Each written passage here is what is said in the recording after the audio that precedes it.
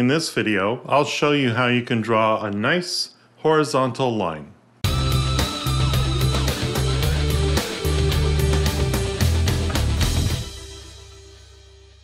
I'm Paul Wilson, and I make videos about e-learning, specifically the authoring tool Adobe Captivate. If you like what I'm doing here today, by all means like this video, subscribe to my channel, and share this video with all of your e-learning friends. I got a message from one of the viewers of my YouTube channel. They wrote, Is there a way to remove white space around images? I'm trying to use an orange line as a spacer to set the title off from the text. My graphic is only about 4 pixels high, and I only want the line in my image box. No white space. Captivate insists on putting a huge amount of white space above and below the line, and I cannot drag the handles any further than maybe 100 pixels. Is there any way to eliminate this? In Classic, I would have just drawn a line. I feel the same way. In Classic, I would have drawn a line as well. Very simple to do. And we may get that capability back at some point in a future version of Adobe Captivate. At the time of this recording, I'm using 12.6. Let me show you how I would do it. Okay, so I've got Adobe Captivate running here, and I'm going to need actually two paragraph blocks.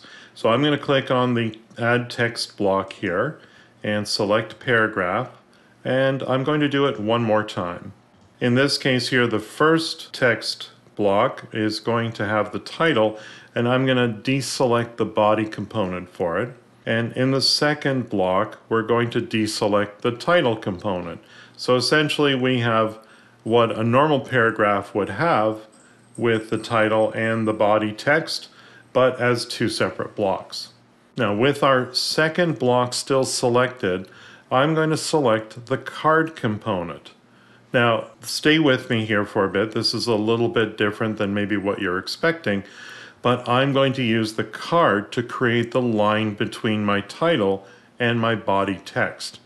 Let's scroll down to card the first thing I want to do is set my corner radius to be zero because I don't want any rounded corners here. I don't actually need a solid fill for this card, so I will deselect that. And I will also deselect the drop shadow. You can just barely make it out there. I don't need that as well. So I've essentially made the card completely transparent.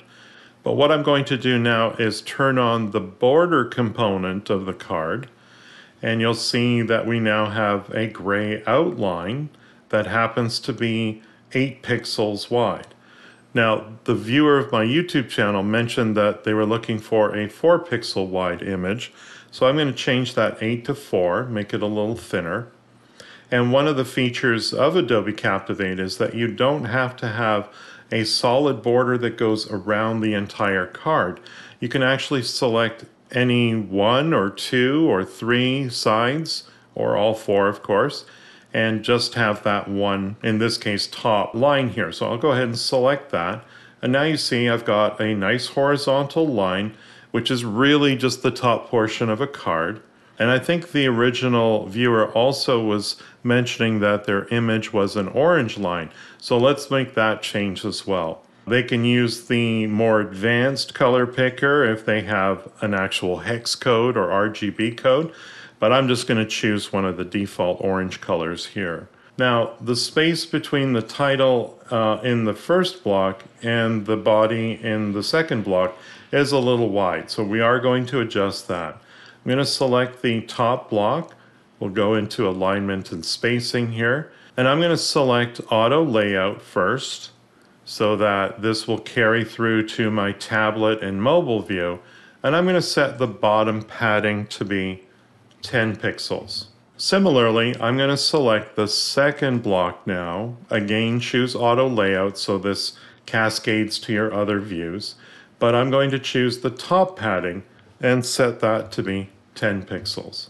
So now you can see I've got a horizontal line, it's orange, and it separates my title and my body text quite nicely. Let's preview it and see how it looks on the other views. Okay, that looks pretty good. Let's see what it looks like on a tablet. Nice. And on the mobile view. also nice. If you thought this video was helpful, please like and share it with your colleagues. If you need help with Adobe Captivate, hire Paul for one-on-one instruction. Paul's goal is to focus on lessons based on your specific needs. Visit his website at CaptivateTeacher.com. And don't forget to subscribe to his YouTube channel.